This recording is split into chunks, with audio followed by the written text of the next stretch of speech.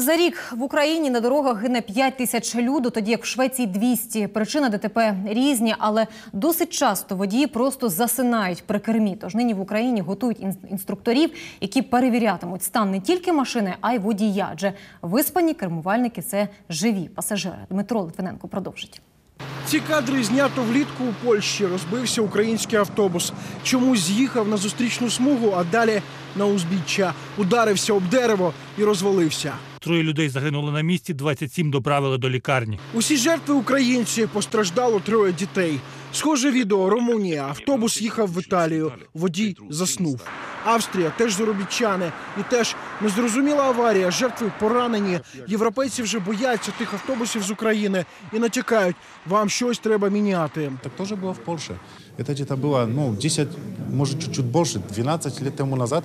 В Польше у нас была тоже такая проблема, что все хотели обмануть всех. Другий тиждень у цій залі поляки вчать українців працювати багато. Це злочин, за який має бути штраф. Тут готують інструкторів для нової структури служби безпеки на транспорті. В Україні досі це була формальність, плюс корупція. В Європі дуже потужна сила, яка виписує шалені штрафи десятки тисяч євро тим, хто хоче щадити. Чтобы поехать с э, Киева в Одессу, можно поехать одним, э, ну, один водитель может это сделать, или может это сделать экипаж. Но экипаж, мы знаем, это две зарплаты для водителей, да, ну, и все это уже хозяин потеряет на это деньги. У Польщі запровадили гігантські штрафи за те, що водії автобусів чи вантажівок не відпочивають. А також запровадили обов'язкові тахографи, апарати, що фіксують скільки і як працює водій. Сьогодні вчать українців, як із ними працювати. То вже знає водій Андрій. Його компанія встановила тахографи і час його роботи фіксують. Не можна 18 годин на день їхати. Серед колег, особливо дальнобійників важкого, ну, на котрі на фурах, це постійне порушення, і ми це бачимо, припустимо, по трасі Одеса-Київ, коли вони лежать на боку. Дорожня безпека це директива ЄС, яку потрібно вписати в українські закони. Нині для того дві інспекції ліквідовують і створюють службу. В ній буде п'ять сотень інспекторів. Те, що ми зараз робимо, це робиться для вас всіх, для вас конкретно. Для того, щоб не було ситуацій, коли наші водії в Україні засинають за кермом, гинуть десятки людей. Ось цей епізод став останньою краплею. Травень, страшна ДТП на Вінничині.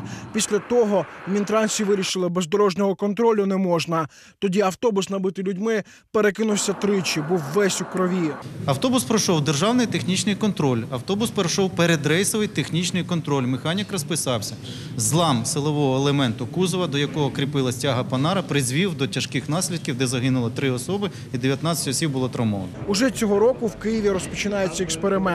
Три машини з обладнанням виїздитимуть на трасу і проводитимуть перевірки. Можуть зупинити одну автівку з 20, навіть якщо та пройшла техогляд, і перевіряти і стан машини, і стан водія. Ви знаєте, що в Швеції за рік гине на дорогах трошки більше 200 людей. Скільки у нас за рік на дорогах? 5 тисяч людей. У нас на дорогах іде війна. І одна з причин це технічний стан автомобілів. Аби нова структура не стала корупційним клондайком, підходи до інспекторів, як у новій нацполіції, набирають із чистого аркуша, вчать іноземні інструктори, чіпляють камеру, якої не можна знімати, дають суттєву зарплатню втричі вищі ніж тепер на рівні поліції, а також нову форму і спецавтівки з сучасним начинням. Кермування ними окремий курс для інспекторів водіюватимуть мають упевнено, але обережно. Це дорогі автомобілі до півтора мільйона гривень. Кожен автомобіль вони повинні вміти володіти цим автомобілем. Польські інструктори кажуть, нової служби боятися не потрібно. Вони в себе таке пройшли. І компанії-перевізниці від того тільки виграли. Надо поставить вопрос, а украинские компании готовы работать в Европейском Союзе? У нас законы жесткие, штрафы очень жесткие. И я думаю, что сейчас хорошее время для Украины, чтобы подготовить водителей Дмитро Литвиненко, Євген Каченко. Програма Вікна СТБ.